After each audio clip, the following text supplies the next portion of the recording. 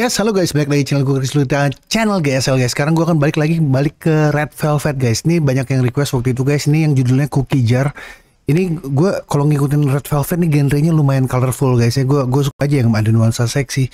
Ada yang cukup kayak apa uh, K-pop banget yang yang dangdang yang musiknya desainnya segala macam. Nah ini gue ketemu yang Cookie Jar yang menurut teman-teman nih linknya ada di bawah. Jadi gue langsung react aja. Tapi sebelumnya gue intro dulu guys. Ceplok.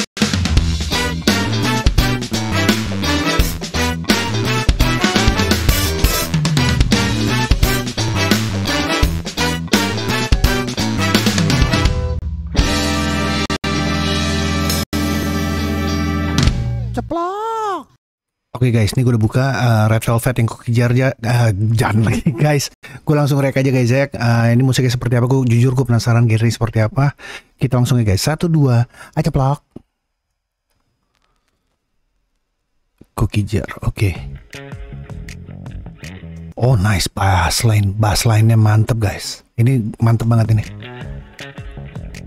dan dibikin sedikit kayak nuansa James Bond guys ya. Itu ada kayak delay uh, sama reverbnya itu lumayan uh, dalam banget guys. Ini coba gue ulang dikit nih guys. Sorry. Ya bass bassnya itu berasa banget kayak kayak ada delay di belakang teng teng teng teng mental mental gitu. Cuman uh, beatnya itu kering banget guys. Nggak uh, ada di reverb sama sekali. Lanjut ya guys. Ada room sih ada room. Nice suka mixingnya deh? Mixingnya asik banget ya guys. Nice. Oke. Okay. Diari ya. Bassnya juga dikasih kayak sedikit ada distorsi itu gue suka banget.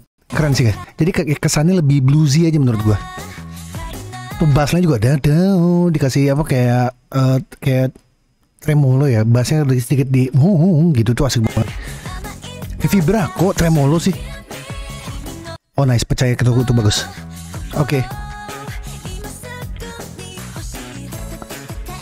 Oh. Oke, okay, di sini masuk masuk kayak uh, elektronik piano ya. Teng teng per uh, dua bit. Nice.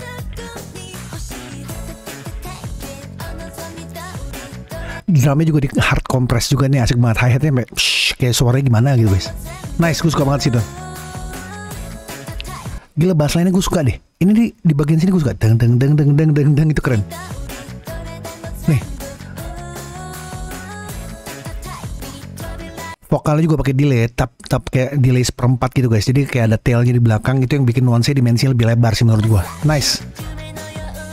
Oke. Okay. Tuh dam dam. Itu kasih delay. Oh iya sama dikasih tiu jatuh kayak jatuh gitu guys ya di frekuensi makin lama makin low di automation nice oh bener nih nuansa ada vintage drumnya let tome guys tunggu tunggu tunggu tunggu tunggu analog sih itu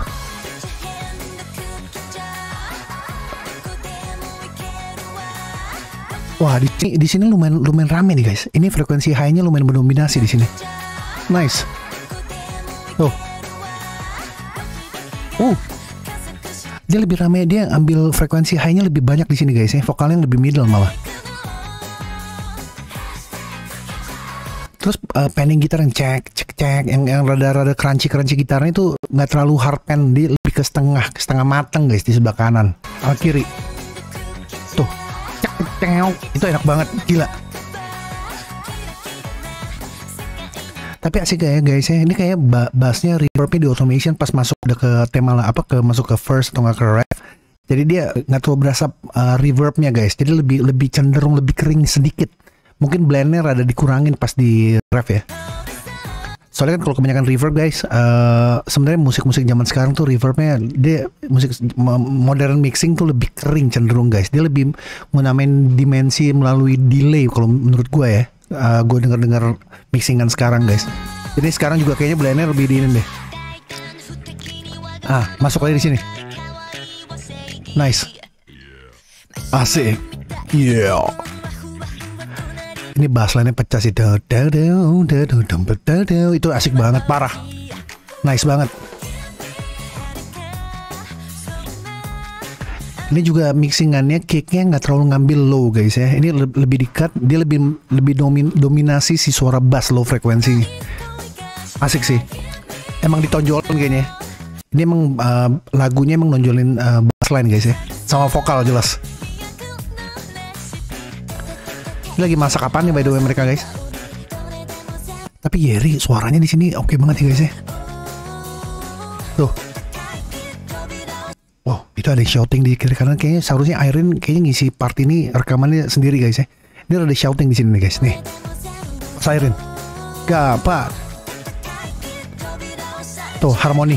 Jadi ada yang ambil uh, low uh, suara satu, ada yang ngambil atas, cuman lebih shouting suaranya. Nice, keren. Gila lagi ya.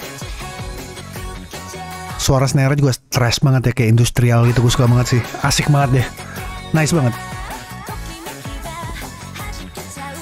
Ah, delaynya juga banyak di sini guys ya.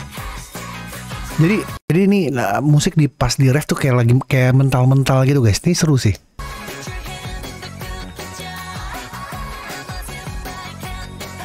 dan gitarnya rhythm sebelah kanan gue suka tengok tengok itu keren guys itu asli keren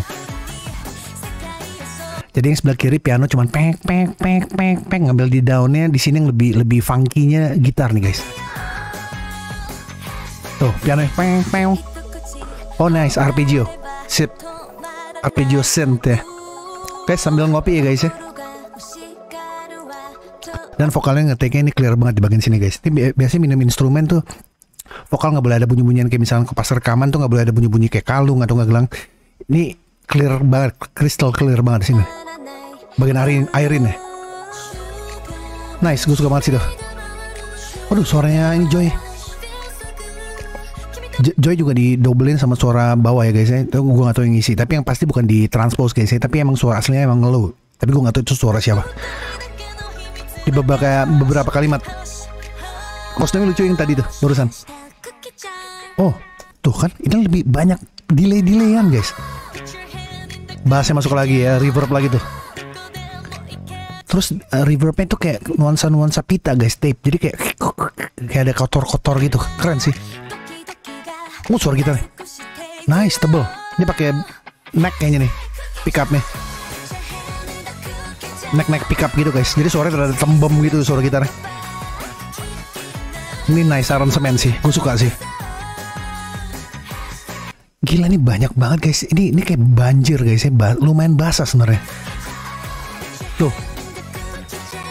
Ah, mulai masuk organ lebih bluesy nih. Sebelah kiri kuping di rada atas karena dia high frekuensi. Nih. Tuh. Rada tremolo gitu ya. Asik ya. Nice. Oke, okay, ke mana? Oke. Okay. Oke, okay, itu vokal di filter di sini dulu guys. Masuk sini. Nice aransemen dinamikanya bagus guys